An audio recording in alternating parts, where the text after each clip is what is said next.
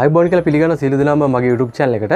අදමං ඕගොලට කියල දෙන්න යන්නේ හාල් මැස්සෝ සහ බටු එකට දාලා රසවත් බැදුමක් ඉතාමත් පහසුවෙන් හදාගන්නේ කොහොමද කියලා.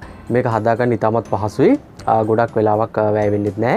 හොඳයි එමන අපි ගිල බලුම අපේ වීඩියක හොඳයි මම මුලින්ම මෙතන ඇරගෙන තියෙනවා බටු ග්‍රෑම් දෙසේ පණහක්. හොඳින් සෝදාගත් හාල් මැස්සන් ග්‍රෑම් පණහක් පමණ. කපාගත් ලූුණු ගෙඩියක් සහ සුදුලූුණු බික් හතරක් පොල් කිරිකෝප්ප එක හමාරක් අඩුකෝප්ප මෙතන තියෙනවා රම්පෙසහ කරපිංචා මෙතන තියෙනවා පොල් තෙල් කපාගත්තව මිරිස් කරල් හතරක් තුන පහ කුඩු තේ හැඳි භාගයක් මිරිස් කුඩු තේ හැන්දක්. මෙතන තියෙන කුරුඳු ස්වල්පයක් සූදුරු තේ හැඳි භාගයක් මහදුරු තේ හැඳි භාගයක්. අවසාන වශයෙන් තියෙනවා කහතේ හැඳි භාගයක් සහ ලුණු ස්වල්පයක්. ඔන්න දැන් එහෙනම් මම බටු කපා ගන්නයි යන්නේ. මෙතන මම වතුරට ලුණු සහ කහවත් එකතු කරා. හේතුව අපි දැන් බටු කපලා මේකට තමයි දාන්න ඕනේ. එහෙම නැත්නම් බටු වල ඉක්මනට කහට පිපෙනවනේ. මම දැන් බටු ගෙඩිය මුලින්ම මේ ආකාරයට දෙකට පලා ගන්නවා. ඊට පස්සේ මම බටු ගෙඩිය සාමාන්‍ය හීනි පෙති ආකාරයට කපා ගන්නවා. ටිකක් හීනි වුණාම අපිට බැදගන්න ඉතාමත් පහසු වෙනවා. ඒකයි මම පොඩ්ඩක් හීනියට කපන්නේ. අනිත් එක බටු කපද්දි චුට්ටක් බලලා කපන්න. දැන් මගේ මේ බටු ගෙඩිය නම් හොඳයි. සමහර බටු වල පණුව ඉන්නවනේ. පණුව ඉන්නවනම් සාමාන්‍යයෙන් බටු වල කෘෂි රසායන ද්‍රව්‍ය ගොඩක් අඩංගු වෙන්නේ නැහැ. හේතුව මේ බටු වලටත් ගොඩාක් කෘෂි රසායන භාවිතා කරනවානේ. පණුව චුට්ටක් එතන කාලා තියෙනවා නම් අපි ඒ හැරින් කපලා ඉවත් කරලා අපිට මේ බටු පාවිච්චි කරගන්න පුළුවන්. එතකොට ගොඩාක් ශරීරයට හිත කරයි. මම දැන් සීලුම බටු ගෙඩි මෙන්න මේ ආකාරයට හීනියට කපා ගන්නවා.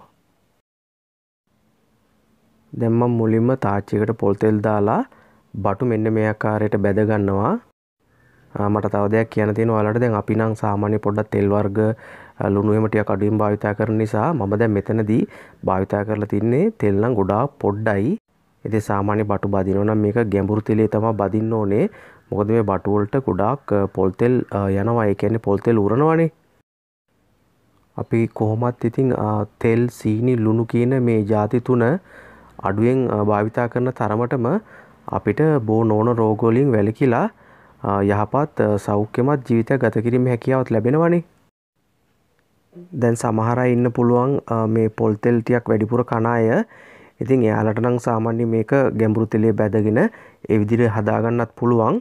ඉතින් ඔයාලා කැමති විදිහට පුළුවන් විදිහට පොල් තෙල් අඩුවෙන් හෝ වැඩියෙන් දාලා මෙන්න මේ ආකාරයට බැද ගන්න. දැන් මමත් මේක සාමාන්‍යයෙන් රන්වන් පාට වෙනකන් මේ සීලුම බටු ටික මෙන්න මේ ආකාරයට බැද ගන්නවා.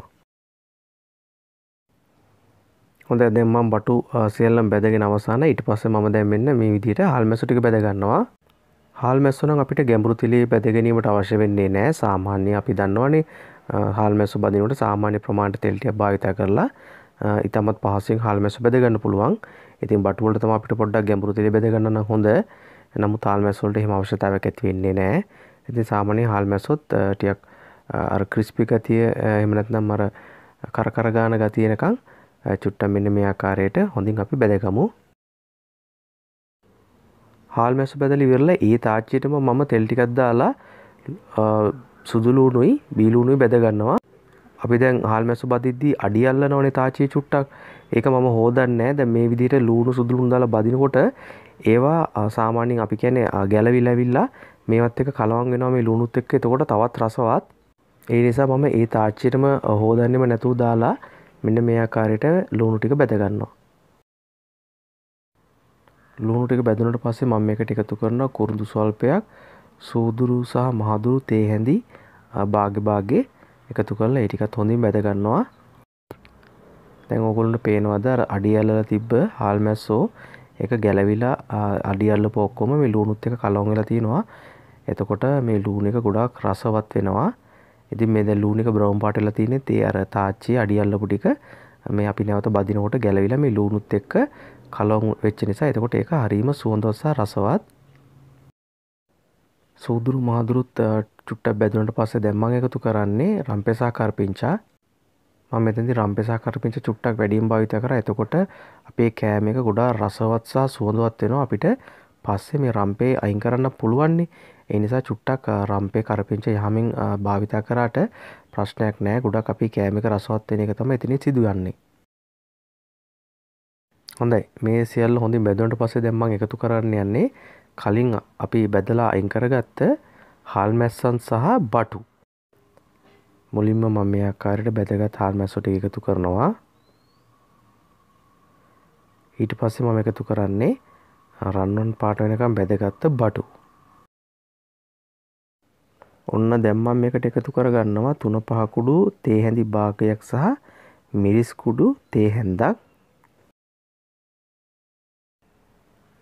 ඊට පස්සේ මම මේකට අවශ්‍ය පදමට ලුණු එකතු කරනවා.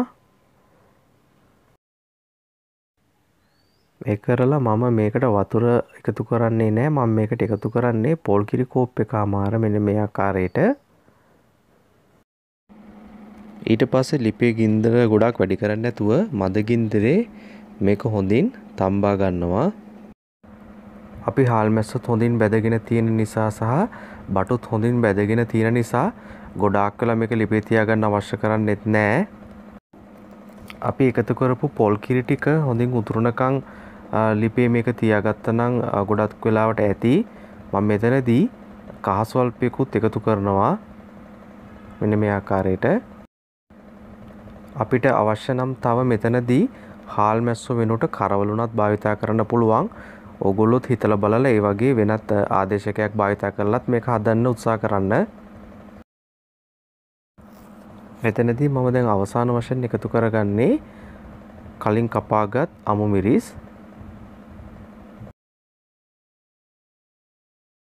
මිරිස් හොඳයි දැන් විනාඩි 10කට විතර පස්සේ මම එකතු කරපු පොල් කිරි ටිකත් හොඳින් උතුරනවා. ඔන්න එහෙනම් දැන් මම ලිප් ඔෆ් කරගෙන මේක ලිපෙන් බාගන්නයි දැන් හදන්නේ. හොඳයි ඔන්න දැන් බලන්න අපි තාමත් රසවත් හාල් මැස්සෝ සහ බට එකතු කරලා රසවත් බැදුමක් හදාගත්තා. ඉතින් ඔයගොල්ලොත් මේක හදන්න උත්සාහ කරන්න. ඔයාලා මාව බලන අලුත් කෙනෙක් නම් මාව subscribe කරලා නැත්නම් subscribe කරලා bell icon එකත් click කරන්න. මම එහෙනම් නැවතත් මේ වගේම රසවත් වීඩියෝ එකකින් ඕගොල්ලෝ හමුවට පැමිණෙන්නම්. එතකන් සියලු දෙනාටම සුබ දවසක්.